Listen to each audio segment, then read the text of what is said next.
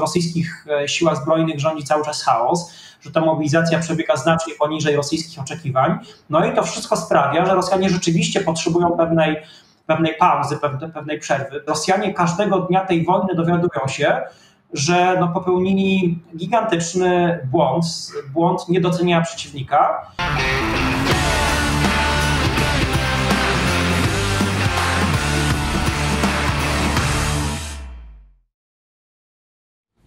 Dzień dobry, to jest raport Walczaka. Witam Państwa serdecznie. Nazywam się oczywiście Tomasz Walczak. Dzisiaj będziemy rozmawiać o tym, co się w ostatnich dniach działo w Ukrainie, na frontach ukraińskich. Przede wszystkim zdobycie Hersonia. Niezwykle ważna informacja, niezwykle ważne wydarzenie w tej wojnie i zastanowimy się, jakie konsekwencje e, odbicie Hersonia z rąk Ukraiń rosyjskich przez Ukrainę będzie miało dla tej wojny. A ze mną jest już e, wicedyrektor Ośrodka Studiów Wschodnich, pan Wojciech Konończuk. Dzień dobry, panie dyrektorze. Dzień dobry. No właśnie, panie dyrektorze, zastanówmy się najpierw, y, te y, wyzwolenie Hersonia to bardziej polityczne wydarzenie, czy bardziej militarne? Tutaj głosy się różnią wśród ekspertów, czy większe znaczenie ma to właśnie w wymiarze politycznym, że Ukraińcy odbijają y, jedyne miasto obwodowe, które było w rękach Rosjan i trudno oczekiwać, że na tym południowym froncie e, jakieś sukcesy jeszcze Ukraińcy będą odnosić, czy to jest początek też jakiegoś e, militarnego, kolejnego ciągu wydarzeń, który południe Ukrainy będzie wyzwalał i w tym sensie może być to wydarzenie ważne także militarnie. Jak pan to ocenia, panie dyrektorze? Myślę, że każdy, każdy sukces militarny to jest także sukces polityczny i tak jest również w przypadku Hersonia. Szczególnie, że władze ukraińskie od dłuższego czasu, dosłownie kilku miesięcy wręcz, okresu powiedzmy sobie początku wakacji zapowiadały, że odbicie Hersonia to jest tylko kwestia czasu i tak pewnie rzeczywiście było, biorąc pod uwagę jak, trudny, jak trudnym odcinkiem do obrony dla Rosjan było właśnie było miasto Herson i jego bezpośrednie okolice. Więc dzisiaj Ukraińcy świętują nie tylko sukces e, militarny, taktyczny, ale także polityczny i sam fakt, że prezydent Zełęński e, dwa czy trzy dni po, po wyzwoleniu Hersonia złożył wizytę w tym mieście, jest tego dobrym przykładem. Zresztą swoją drogą jest kolejne potwierdzenie e, pewnej, no, e, myślę, że postawy e, prezydenta Zeleńskiego jako lidera narodu, który jest przez ogromną część narodu ukraińskiego fetowany i uznawany właśnie za godnego przywódcę swojego narodu. Z punktu widzenia z kolei strony rosyjskiej, no jest to strategiczna porażka, która kładzie krzyżyk, kres rosyjskim planom zdobycia połączenia lądowego między tą częścią południowej Ukrainy, którą już okupują, a Naddniestrzem. A takie przecież były plany na samym początku wojny. Takie też były obawy, również w samej Mołdawii formułowane, że Rosjanie po zajęciu Hersonia pójdą dalej, e, dojdą do Odessy, będą chcieli zdobyć, zdobywać Odessę, e, no a potem utworzą połączenie lądowe z z Naddniestrzem, które, które przecież kontrolują. To się wszystko nie udało i dzisiaj wydaje się, że to jest zupełnie księżycowy scenariusz. E, Rosjanie nie mają na to jakiekolwiek nadziei w najbliższym, pewnie kiedykolwiek przyszłości. Mhm. Mówi pan, że już od wielu miesięcy Ukraińcy mówili o tym, że będą odzyskiwać Hersoń, ale kiedy ta ofensywa e, się na Hersoń rozpoczynała, wielu też patrzyło na nią jako e, swego rodzaju zasłonę dymną wobec tego, co się na Hersońszczyźnie działo.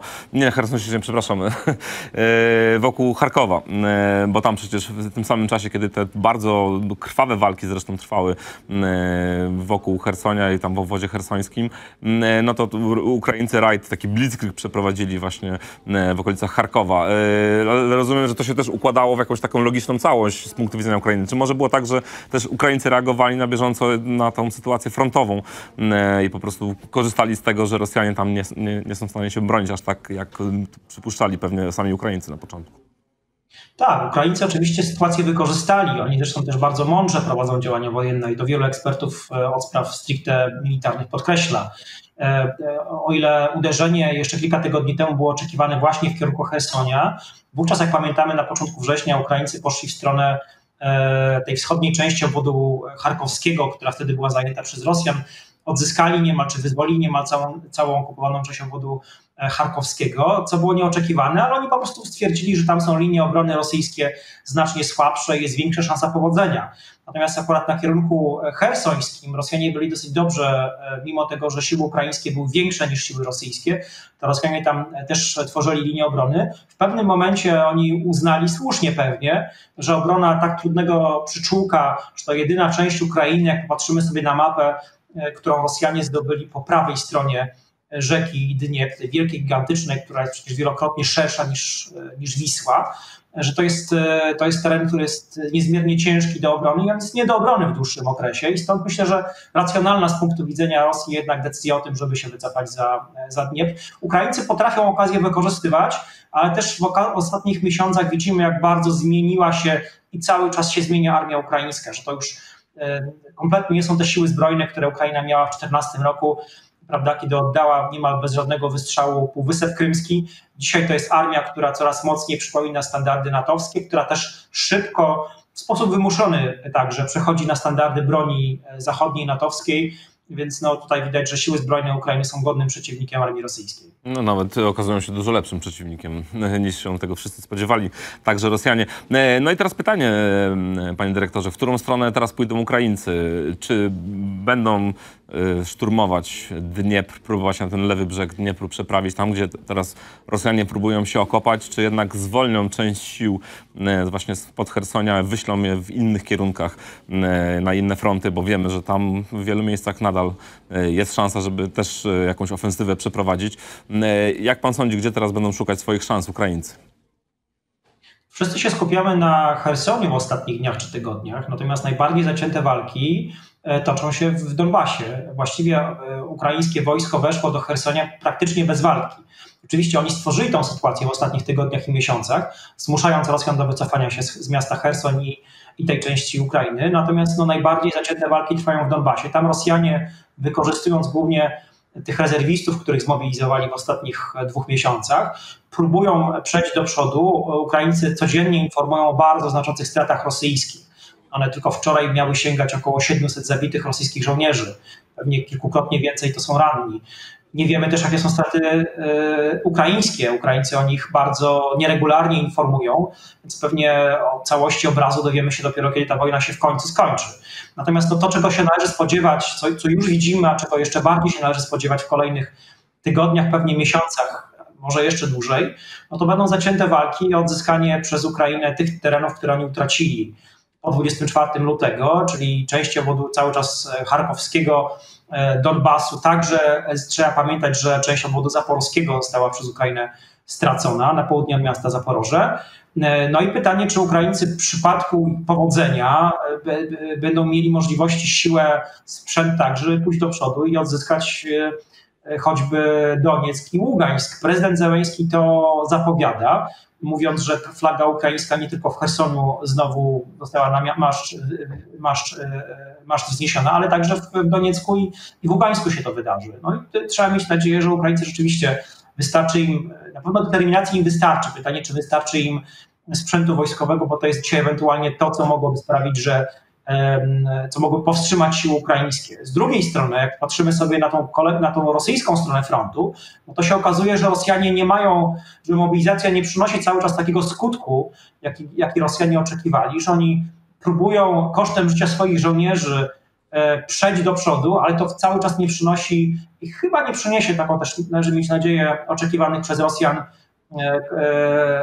efektów. Więc ta wojna jest zacięta, ona pewnie zacięta będzie, no ale na, to się z kolei nakładają sygnały polityczne, jakie Rosjanie intensywnie w ostatnich dniach i tygodniach wysyłają, wysyłając, mówiąc, musimy zacząć rozmawiać, E, potrzebne są negocjacje, potrzebne jest porozumienie o zawieszeniu broni. I to nie jest wyraz rosyjskiej siły, tylko to jest wyraz rosyjskiej słabości. No tak właśnie, bo wszyscy też o tym mówią, że Rosja to, czego dzisiaj potrzebuje Rosja, to e, tak zwana pauza operacyjna, żeby ona mogła e, uzupełnić braki i, wojsko, i żołnierzy, i sprzętu e, na frontach, także pewnie jakoś przeczekać zimę, żeby poczekać na, na, to silniejsze wsparcie.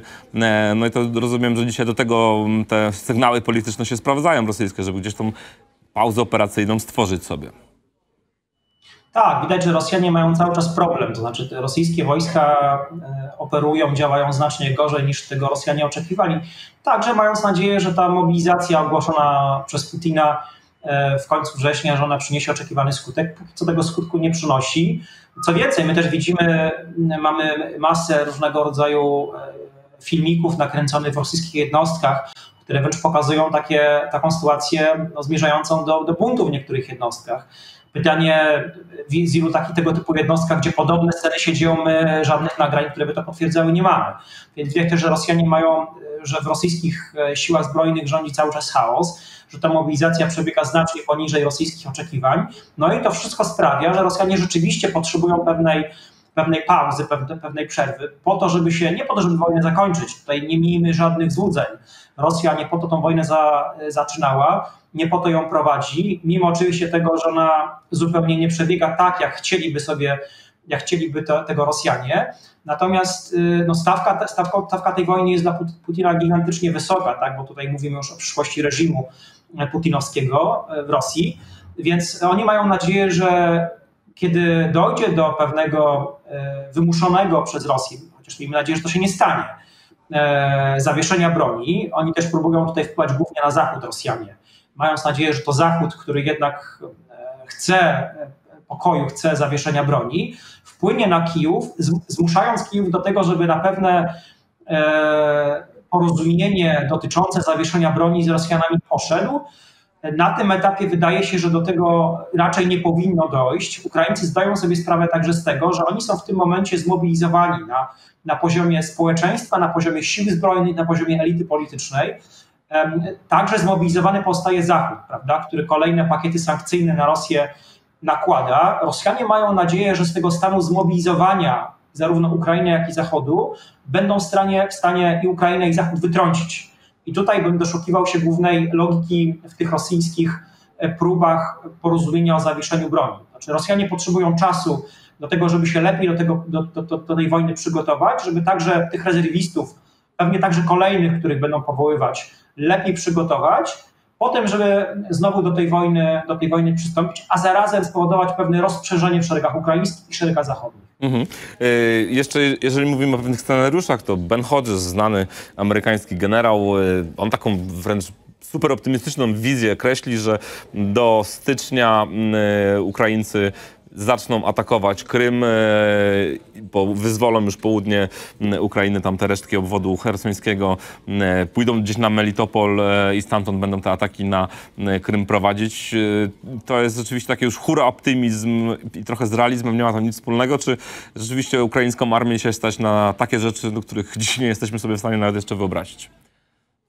Tak, myślę, że tu nie ma wątpliwości, że Ukraińców na to stać. Zresztą to, co, o mówi generał Hodges, to się już wydarzyło w ostatnich kilku tygodniach. Pamiętajmy o tych atakach, udanych ukraińskich atakach na bazy lotnicze, między innymi na Krymie. Te, to, te niedawne ataki dronami e, e, podwodnymi na, na jednostki floty czarnomorskiej rosyjskiej. Inne wybuchy pewnie za pośrednictwem ukraińskich grup dywersyjnych, które na Krymie działają, ale też seria, długa seria podobnych zdarzeń już nie na terytorium okupowanym przez Rosję, e, także nie tylko na Krymie, ale także na terytorium właściwym Federacji Rosyjskiej. Więc Ukraińcy pokazują, że oni też, mówiąc kolokwialnie, potrafią Rosję przywalić, podnosząc tym samym Rosjanom koszty prowadzenia tej wojny. I bardzo słusznie, znaczy Rosjanie każdego dnia tej wojny dowiadują się, że no popełnili gigantyczny błąd, błąd niedocenienia przeciwnika braku szacunku do tego, do tego przeciwnika. E, zresztą to też gdzieś tam w tych e, bardziej światłych umysłach rosyjskich, politycznych czy wojskowych, to chyba wreszcie zaczęło do nich dochodzić, że to, czego nie należy robić na, w trakcie żadnej wojny, to lekceważenie przeciwnika. Rosjanie, ten karygodny błąd, jaki oni zrobili, całe szczęście, że go zrobili, to jest właśnie zlekceważenie Ukrainy, zlekceważenie sił zbrojnych ukraińskich, zlekceważenie społeczeństwa ukraińskiego, no i wreszcie zlekceważenie także odpowiedzi Zachodu. To wszystko, te trzy główne czynniki, jak się je złączy do, jedną całość, no to po, pojawi się z tego e, obraz wojny, kompletnie niepotrzebnej awantury, na którą Rosjanie poszli, którą zaczęli i z której nie potrafią się z twarzą wycofać, która oczywiście e, ma konsekwencje dla nas wszystkich, głównie dla państwa i społeczeństwa ukraińskiego, ale także ma coraz większe konsekwencje dla, e, dla Rosji, także dla przyszłości władzy Putina. No właśnie, o tą władzę Putina warto się zapytać, bo od początku wojny słyszymy, że są jakieś napięcia w elicie, że ktoś tu próbuje mu nóż w plecy wbić, jak Brutus kiedyś Cezarowi. No i do, do, do tej pory jakoś tego nie zobaczyliśmy. No ale wiele ekspertów też mówi o tym, że coraz wyraźniej widać e, ten, e, może nie całkowite pęknięcie, ale pewne naruszenie tej jedności e, elity rosyjskiej. No i ta pozycja Putina ma słabnąć. Ten Hersoń to jest taki kolejny kolejny kamyczek do ogródka, coś, co może nie przeważy jeszcze losu politycznego samego Władimira Putina, e, no ale też mu nie dodaje e, prestiżu e, i mocy politycznej w jego własnym otoczeniu. Zdecydowanie tak. Tutaj to jest kolejna porażka tych założeń taktycznych, których ojcem jest oczywiście Władimir Putin.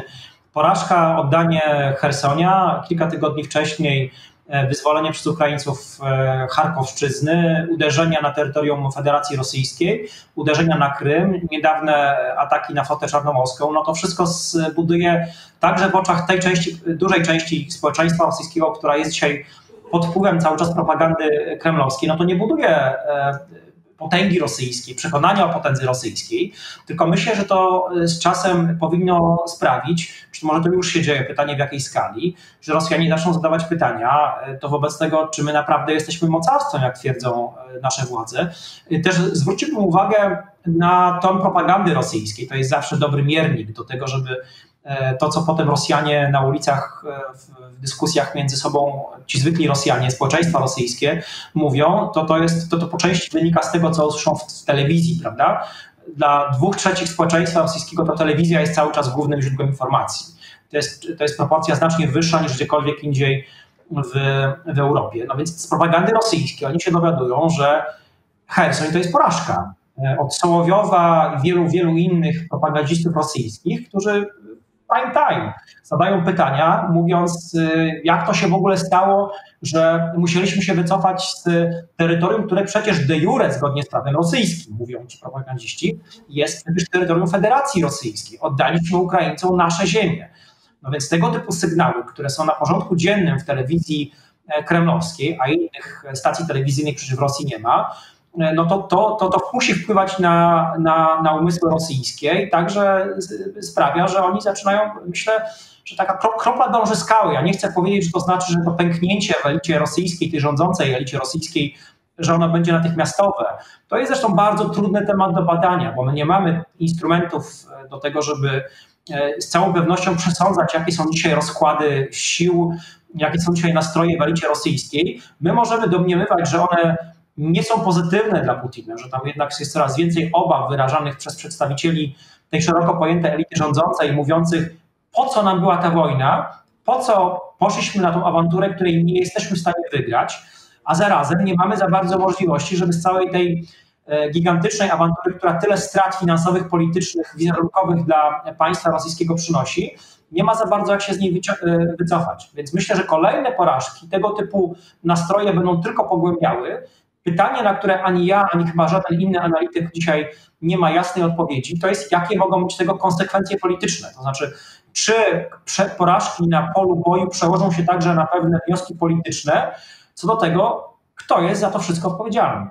A jeden człowiek jest za no tak, znamy tą e, tradycyjną rosyjską, czy bardziej współczesną, też radziecką metodę, że za wszystkie grzechy odpowiada jeden człowiek, nawet jeżeli całe kolektywne przywództwo stało za jego decyzjami. Mam tu na myśli między innymi Chruszczowa, który e, uniknął e, odpowiedzialności za Stalinizm, właśnie zrzucając wszystko na Stalina, więc być może y, też y, tak będzie ta elita bronić przed y, także odpowiedzialnością za, za tę wojnę w oczach. Tak, tutaj wejdę panu dyrektorowi, jeśli mogę, słowo. Już się broni broni, dlatego że widać też narrację w mediach propagandowych, gdzie jest próba zrzucania odpowiedzialności za wycofanie się z Hersońszczyzny na dowódców wojskowych. E, wręcz bronienie, wręcz mówienie takie bardzo łopatologiczne, to wojskowi podejmują decyzje militarne i to oni odpowiadają za sytuację na froncie, a nie kierownictwo polityczne państwa.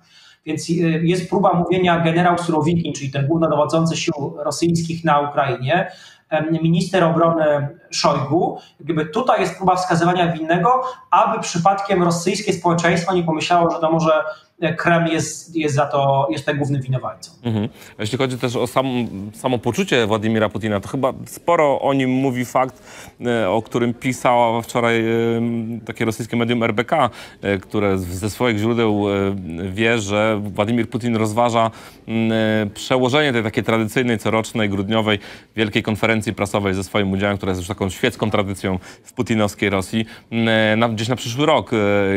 Żadne przygotowania do niej nie to są, tak jak mówią źródła RBK. No i to by pokazywało, że no, też boi się wyjść do ludzi, y, skonfrontować się, nawet z tymi dziennikarzami, pewnie większość z nich byłaby tymi reżimowymi, kremlowskimi, e, no ale jednak trochę do tych ludzi boi się wyjść mimo wszystko. I to też chyba ten stan ducha Putina by pokazywało. Tak, te, te, spotkania jego coroczne z, z społeczeństwem, one oczywiście zawsze były wyreżyserowane, chociaż tam też pojawiały się elementy trudnych pytań dla Putina. Nawet jeśli on wiedział, że tego typu pytanie padnie, no to wydaje się, że w tym roku zrobienie podobnego spektaklu na użytek wielomilionowej publiczności telewizyjnej, no to byłoby trudniejsze niż kiedykolwiek wcześniej, dlatego że tych pytań bardzo trudnych, które Rosjanie chcieliby mu zadać, jest bardzo wiele i myślę, że też e, odpowiedzi, jak on by nawet oczekując takich pytań udzielił, no, byłyby często niesatysfakcjonujące. Znaczy widać, że błędem kolejnym z bardzo długiej przecież serii błędów politycznych Putina w ostatnich miesiącach było anektowanie terytoriów ukraińskich i to nie e, tej części Donbasu, która jeszcze wcześniej była okupowana przez Rosję, tylko także tych terytoriów, które armia rosyjska zajęła po 24 lutego, tak, po wybuchu tej wojny i że tutaj no, jak to wytłumaczyć, kiedy terytorium rosyjskie prawda, znajduje się jak twierdzą Rosjanie, teraz pod okupacją ukraińską. Więc to są, to są niewygodne kwestie dla Putina i on ma, a pewnie będzie mieć jeszcze większy problem, żeby to własnemu społeczeństwu wyjaśnić, e, zdając sobie sprawę z tego, w jaki róg sam się zagonił. Mhm.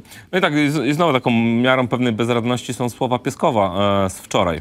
Pieskow pytany o to, co sądzi, o to, jak czy skomentuje wyzwolenie przez Ukraińców Hersonia, stwierdził, że bez komentarza i za chwilę takie urzędowe dodał, ale wiecie, że Hersoń e, to jest terytorium rosyjskie. No i, i tyle stwierdził i nic z tym Rosja na razie nie robi, chyba zrobić nie będzie w stanie, więc to też już poza takim y, gołosłowiem chyba też niewiele już argumentów. To jest zaklinanie rzeczywistości. To jest zaklinanie rzeczywistości, tutaj Rosjanie liczą teraz na dyplomację. I tutaj tak też należy rozumieć te bardzo intensywne sygnały polityczne, które e, płyną z Moskwy w ostatnich tygodniach, mówiące, skierowane głównie do Zachodu, mówiące e, zacznijmy rozmawiać, e, wojna jest, przynosi straty gospodarcze także wam, społeczeństwom zachodnim, potrzebne są negocjacje, potrzebne jest zawieszenie broni. E, mamy też e, rosnące, myślę, głosy na Zachodzie w różnych kręgach, które także mówią, że no, wojna jest zła, gorszy pokój może być lepszy niż otwarta, krwawiąca wojna. Ukraińcy zdają sobie sprawę z tego, że to będzie pewnie narastać. I oni też bardzo jasno mówią, wczoraj to też jasno, dobitnie, dobitnie wyraźnie napisał generał Załużny, czyli głównodowodzący sił ukraińskich, mówiąc, że E, żołnierze ukraińscy jakichkolwiek kompromisów z Rosją, jakichkolwiek ustępstw wobec Rosji nie zaakceptują. To samo dotyczy nie tylko żołnierzy ukraińskich, to samo dotyczy społeczeństwa ukraińskiego, które dzisiaj w swojej większości jest przekonane do tego, że Ukraina zmierza do zwycięstwa. Więc e, Rosja, Putin, Kreml liczą na to, że to Zachód zmusi Ukraińców do tego, żeby e, przestać, przestać się bronić i pójść na pewne niekorzystne dla Ukrainy kompromisy. Jak mówiłem, wydaje mi się to jednak cały czas mało prawdopodobne, bo Rosjanie, Rosjanie prą do tego, ale Ukraińcy zdają sobie sprawę z tego, czym to potencjalnie e, by, by im groziło. Więc dzisiaj także e, prezydent Załęski występując e, na, na szczycie G20 takie 10 punktów przedstawił i tam też bardzo jasno bardzo dobitnie zakomunikował, że ta wojna się nie kończy, armia ukraińska nie przestanie, dopóki nie wyzwoli swojego, e, całości swojego terytorium. Też na te pojawiające się coraz częściej głosy mówiące na Zachodzie, e, mówiące, że trzeba zacząć rozmawiać, trzeba się jakoś porozumieć. Zełenski mówi tak, e, mamy trzy warunki wstępne dla rozmów z Putinem. Po pierwsze, deokupacja, wycofanie się sił rosyjskich z całości terytorium E, ukraińskiego, ukaranie winnych zbrodni wojennych i reparacje. E, Zełenski mówiąc to doskonale sobie zdaje sprawę, że to są warunki, które są dla, dla Putina nie do przyjęcia, bo on oczywiście mówiąc o deokupacji, ma na myśli także Krym. Dzisiaj Putin, ale ani pewnie też to sobie trudno wyobrazić, ktokolwiek, kto będzie po Putinie rządził, no nie, nie, nie zgodzi się na to, żeby Półwysep Krymski Ukrainie przekazać. Więc te trzy ukraińskie główne warunki to są warunki zaporowe i jest oczywiste, że dzisiaj e, ani Putin, ani ktokolwiek inny po stronie rosyjskiej na nie się nie zgodzi. No ale tak, te warunki brzmią trochę bardziej, przynajmniej dla ucha zachodniego, e, jako bardziej do przyjęcia niż to, co jeszcze do niedawna e, Władimir Zełański mówi. To znaczy, że nie zaczniemy z Rosją rozmawiać, dokąd Putin będzie rządził Rosją. Tam chyba jakaś taka zmiana retoryki trochę zaszła, prawda, też po stronie ukraińskiej. Tak, i tutaj rzeczywiście, o ile wcześniej Zająński wielokrotnie potwierdzał, a to już tak bardzo, bardzo dobitnie, żeby wszyscy zrozumieli po tej e, dokonanej przez Rosji aneksji terytoriów ukraińskich, on kilkukrotnie powtórzył, że z tym prezydentem rosyjskim my nie mamy o czym rozmawiać. E, I rzeczywiście ten element z jego narracji, z jego wystąpień w ostatnich dniach wypadł. I to jest pewnie, i to jest pewnie efekt jakichś nacisków zachodnich, które mówią, no tak, panie prezydencie, tak do końca tych e, rozmów z Rosjanami, z samym Putinem, to niech pan jednak nie, nie wyklucza całościowo. Więc Zełenski w odpowiedzi to jest bardzo inteligentny polityk. To myślę, że na każdym kroku warto podkreślać, że to jest rzeczywiście godny e, przeciwnik, e, który pewnie przerasta Putina także jeśli chodzi o jego, o jego zdolności intelektualne. Także pewną zdolność do tego on pokazał rzeczywiście bardzo umiejętne przywództwo w, w ciągu tych ostatnich 9 miesięcy. No więc ten, ten Zełyński zmienił narrację, mówiąc, no to tutaj mamy te, te trzy kluczowe warunki, bez których nie, nie zaczniemy z wami rozmawiać. Mhm. A panie dyrektorze, jeszcze zapytam o to spotkanie szefa CIA i służby wywiadu zagranicznego Naryszkina. E, to chyba pierwsze spotkanie, jeśli dobrze kojarzę, e, od czasu wybuchu wojny między jakimiś przedstawicielami dosyć wysokiego szczebla e, amerykańskimi i rosyjskimi. No i wiele też zaczęło się zastanawiać, czy to nie jest przymiarka do jakiegoś właśnie porozumienia ponad głowami Ukraińców albo albo przynajmniej stworzenia jakiejś platformy e, do rozmów ukraińsko-rosyjskich. Jak pan odbiera to spotkanie? E, czy to rzeczywiście coś można z niego wywróżyć, czy to też czysto robocze, bo trzeba jakieś relacje utrzymywać mimo wszystko? No myślę, że to spotkanie jest ważne o tyle, że jak pan redaktor zauważył, to jest pierwsze tego typu spotkanie e, szefa CIA ze swoim rosyjskim vis-a-vis, czyli szefem wywiadu zagranicznego Naryszkinem od wielu miesięcy. E, ono się odbyło w Turcji, to tylko potwierdza, że Turcja jest takim główną, taką główną platformą, która próbuje e, przynajmniej próbuje negocjować między, między stronami. To spotkanie, jeśli wierzyć oficjalnemu komunikatowi, ono dotyczyło głównie kwestii tych amerykańskich obywateli, którzy są przetrzymywani na terytorium rosyjskim, także tej koszykarki amerykańskiej, która została zatrzymana i, i skazana na, na karę więzienia. Więc Amerykanie, jak wiadomo, zawsze walczą o swoich obywateli. Natomiast pytanie, czy, czy, czy oczywiście jeszcze rozmawiano takiej sytuacji, jak jest dzisiaj, trudno przypuszczać, że nie rozmawiano o, o innych kwestiach, także o, o kwestii ewentualnie nuklearnej, która trochę wydaje się w ostatnich dniach jednak z agendy narracji propagandy rosyjskiej jednak zaczęła być wyciszana. Nie zniknęła zupełnie, ale zaczęła być wyciszana. E, czy Rosjanie próbują także tym kanałem wpłynąć na Zachód, aby z kolei Zachód, Amerykanie wpłynęli na, na Zełenskiego? Myślę, że jest to prawdopodobne, ale z drugiej strony wczoraj mieliśmy wystąpienie prezydenta Bidena, który bardzo jasno mówił, powtórzył tę definicję o Ukrainie bez samej Ukrainy. Podobne słowa padły z ust sekretarza generalnego NATO również wczoraj. Więc wydaje mi się, że na tym etapie również Zachód zdaje sobie sprawę z tego, że no, próba jakiegoś, może nie, do, nie zakończenia, ale próba pewnej pauzy, próba pewnego porozumienia z Rosjanami i zmuszenia do tego strony ukraińskiej y, na dłuższą metę się nie uda, że to jak gdyby byłaby tylko pewna pauza w samej wojnie, a nie zakończenie samej wojny, więc też zatrzymywanie rozpędzonej Ukrainy, no, myślę, że miałoby się z celem i byłoby działaniem kontrproduktywnym, które nie tylko uderzałoby w interesy samego Kijowa, ale także w interesy Zachodu. Mhm. I jeszcze na koniec e, wspomniał Pan o broni jądrowej, wspomniał Pan o Bidenie. Wczoraj odbyło się e, w Indonezji spotkanie e, Xi Jinpinga i Bidena, też bardzo ważne i głównie rozmawiano o relacjach chińsko-amerykańskich, no ale też nie zabrakło, jak wiemy, tematu ukraińskiego. Z tego spotkania płynie taki komunikat, z którego nawet Xi Jinping przekonywał, jak, jak się dowiadujemy, że nie dopuszcza możliwości użycia broni jądrowej w Ukrainie i w ogóle broni jądrowej jako jako e, jakiegoś argumentu w e, sporach. Czy to spotkanie, Pana zdaniem, kończy to, to straszenie mm, bronią jądrową prze, przez Rosję? No bo wiemy, że bez reżimu mm, Xi Jinpinga trudno sobie wyobrazić, by Rosja zdecydowała się na tak radykalny krok i może czasu rzeczywiście o tej broni jądrowej zapomnieć, skoro Xi Jinping e, jej użycie wyklucza. Nie, to niestety tematu nie kończy. Moim zdaniem co najwyżej go odkłada. Także dlatego, że Rosjanie, jak już mówiliśmy, oni liczą na to, że uda się coś wynegocjować z Zachodem i z, z Kijowem, co da pewien wydech e, stronie rosyjskiej na przynajmniej na kilka miesięcy. Natomiast e, kwestia nuklearna jest takim e, najważniejszym argumentem i najważniejszym instrumentem militarnym, jaki Rosjanie mają.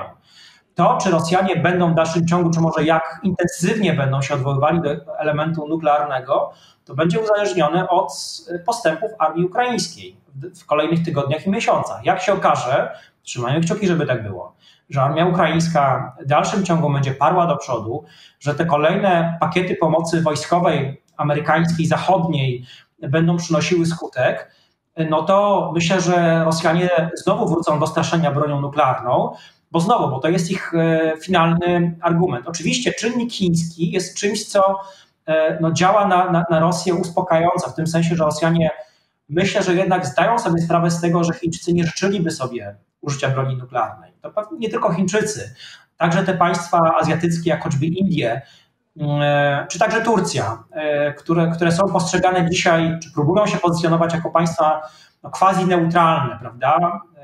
Które, które e, są takimi pośrednikami między stroną rosyjską a, a, a ukraińską i zachodnią, że one by sobie nie życzyły tego, żeby Rosjanie no, sięgnęli po pewne tabu, jakim jest od 1945 roku użycie broni nuklearnej na Ukrainie. Więc wydaje mi się, że dopóki Putin nie, nie czuje, że jego reżim jest w śmiertelnym niebezpieczeństwie i grozi mu po prostu upadek, dopóty raczej e, ewentualność sięgnięcia przez Rosję po broń jądrową są, są, jednak, są jednak ograniczone, co nie zmienia faktu, że Rosjanie nawet jeśli teraz zrezygnowali z takiego bardziej intensywnego posługiwania się, szermowania elementem nuklearnym, to nie znaczy, że niebawem znowu do tego nie wrócą. Rozumiem. Panie dyrektorze, serdecznie dzięki jak zawsze za rozmowę i znalezienie czasu dla nas i dla naszych widzów. Moim Państwa gościem był y, Wojciech Konończuk, wicedyrektor Ośrodka Studiów Wschodnich. Jeszcze raz Panie dyrektorze dziękuję. Państwu również dziękuję za uwagę i widzimy się już wkrótce. Miłego dnia.